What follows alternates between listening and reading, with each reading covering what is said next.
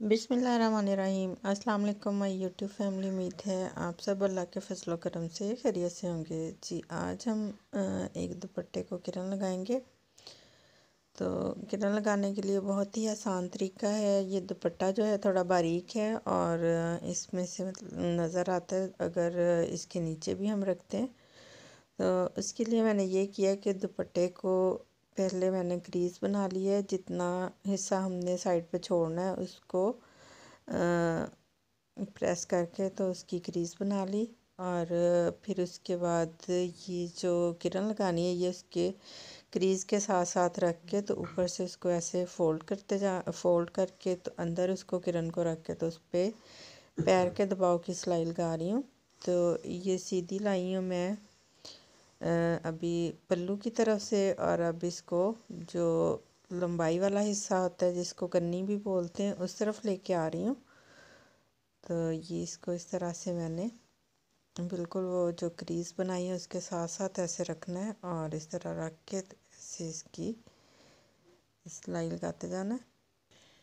सिलाई हमने जो लाइन लगाई है अंदर क्रीज़ बना के उस लाइन के साथ साथ बिल्कुल इसको किरण को रखना है और ऊपर से कपड़ा फोल्ड कर देना और किरण को दोनों हिस्सों में अच्छी तरह से सेट कर लेना और सेट करके ऊपर से पैर के दबाव की मैं सिलाई लगाती जा रही हूँ।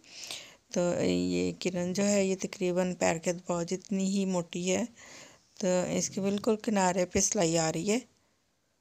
तो अभी इसको हम थोड़ी सी सिलाई लगाने के बाद चेक भी कर लेंगे। और इस तरह से इसके चारों तरफ़ लगाने के बाद फिर इसकी जो ऊपर की तरफ़ हमने कपड़ा किया है किनारों से, उसको अंदर की साइड पे मोड़ के तो इस पर तुरपाई कर लेंगे। आप चाहें तो सिलाई भी कर सकते हैं, लेकिन सिलाई ज़रा नीट कम होती है तो इसलिए तुरपाई ही करते हैं। तुरपाई से इसकी नीटनेस बहुत ज़्यादा आती है। तो ये सारी साइडों पे लग चुकी किरण तो अब इसके बिल्कुल ये जहाँ पे हमने इसको शुरू किया था वहाँ तक आ गए। और जो इसके कॉर्नर थे वो भी हमने बड़े अच्छे तरीके से बनाए हैं। तो उम्मीद है आपको वो तरीका बहुत आसान लगा होगा कि सिर्फ़ उसको किनारे पे रख के तो दूसरी तरफ़ मोड़ दिया। और अब इसको भी हमने इसी तरह से किया है कि जो किरण स्टार्ट हुई है यहाँ से उसके बिल्कुल इसको ऊपर रखना है और इस तरह से इस तरह रख के इसको सेट कर लिया और अब ऊपर से सिलाई लगा देते हैं इसके। ये देखें जी, इस तरह से इस पर सिलाई लग गई। और इस धागे को हमने काट लिया, अब हमारा मशीन का काम जो है वो ख़त्म हो गया है और अब इसकी हमने करनी है तुरपाई। तो इसको तरपाई जब करेंगे तो इस तरह से ये नज़र आएगा। तो ये जी मैं एक, किसी भी जगह से हम तरपाई को स्टार्ट कर सकते हैं। ये मैं पल्लू वाली साइड से स्टार्ट किया मैंने। तो इसको इस तरह से उंगलियों में लेके दो उंगलियाँ नीचे और ऊपर अंगूठे की मदद से उसको सेट किया और इस तरह से लेके इसकी मैं तुरपाई कर रही हूँ और तुरपाई करने के लिए ज़रूरी नहीं होता कि आप हर टांके के बाद पूरा धागा खींचे।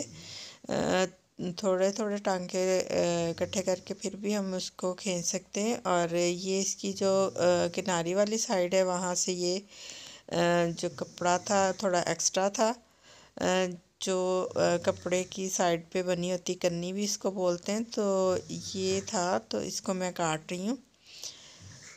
इसको काट के तो वहाँ से इसको फोल्ड करते जाना और जहाँ पे इसका कोना आएगा तो कोने को भी बहुत अच्छे तरीके से फोल्ड करके तो हमने अंदर की तरफ़ कर देना और इस तरह से तुरपाई करते हुए ये ख्याल रखना है कि नीचे से किरण अंदर ना आए, इसलिए किरण को बाहर की तरफ़ निकाल लिया है। आप मेरे चैनल को सब्सक्राइब करें कमेंट करें लाइक करें और बेल आइकन का बटन ज़रूर दबाएँ ताकि आपको नई वीडियो का नोटिफिकेशन मिल सके। और ये देखें जी ये इसका आ, कोना है और कोने को हमने इस तरह से अंदर की तरफ़ मोड़ लिया और मोड़ के उसको बहुत अच्छी तरह से इसकी किनारी जो है वो बना ली। ये बिल्कुल कॉर्नर में इसकी इस तरह से आएगा। ये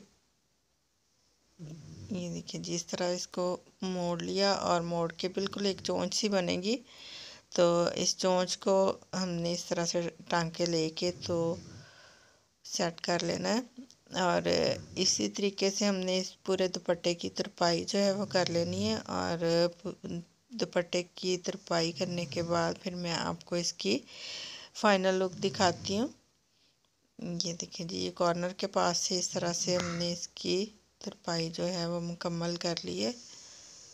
तरपाई मुकम्मल करने के बाद इसकी मैं फ़ाइनल लुक दिखाती हूँ। ये इसका कॉर्नर देख लें, कितना अच्छा बन गया है। और ये इसको मैंने हैंग किया हैंग किया वो आपको दिखा रही हूँ। इसके साथ ही मुझे इजाज़त दीजिए तो हमें याद रखिएगा। मिलते हैं नेक्स्ट वीडियो में। तब तक के लिए अल्लाह हाफिज़।